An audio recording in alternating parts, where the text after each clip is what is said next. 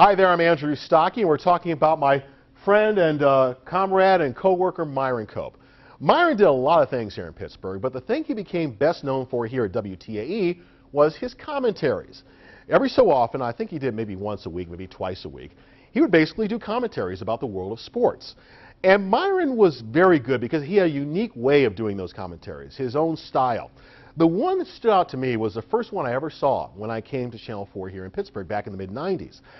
Apparently, Three River Stadium, uh, on the inside, in the, in the tunnel areas uh, that took you to the locker rooms and the various offices, the inside, the color of the walls was blue and gray, or blue and white, which were the colors of the Dallas Cowboys. Something didn't make sense to Myron about that. Here we are in Pittsburgh, Steeler country, and the Steelers' home stadium has a blue and white color scheme inside the hallways. So Myron did a commentary about this.